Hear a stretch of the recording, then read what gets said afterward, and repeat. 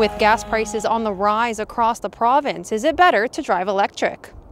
Some car dealerships in Kelowna say there are an abundance of benefits in switching to electric vehicles, including the low cost of charging. But obviously, right now at $2 a liter, and if you take that same conversion to electric cars, we're going to be looking probably about 20 cents a liter. It, that's kind of a, like a 1 to 10 ratio, so a huge savings right there. There's number one. Number two, there's a lot of government incentives right now out there for buying the new ones.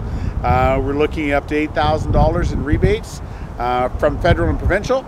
And then if you buy a used, they've actually uh, exempt you from provincial sales tax if the car has an excess of 6,000 kilometers.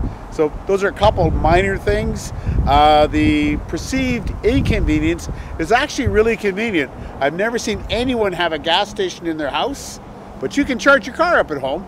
Owner of an electric vehicle, Troy Ryder, says he saved money since he began driving electric a few years ago. I went from driving a gas guzzling SUV, an older one that eventually died.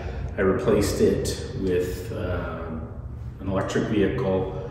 I went from spending three to four hundred dollars a month in fuel down to thirty dollars a month in electricity. As gas prices climb, car dealerships are seeing an increase in demand for electric vehicles. People are, you know, starting to inquire a lot more. Uh, we have a couple hundred orders right now on electric vehicles, just from people that, you know, that there is quite a demand that they're wanting. So.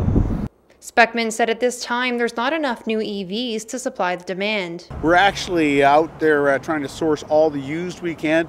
Uh, we don't have enough new, uh, no one does to supply the demand. So we're seeing a lot of inquiries, and this is pretty normal whenever we see a gas price change.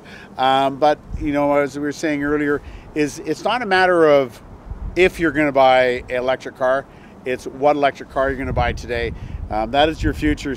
Electric cars also require less maintenance over time opposed to gas vehicles when you're using your brakes, they're actually regenerating energy back into the batteries, which are charging them.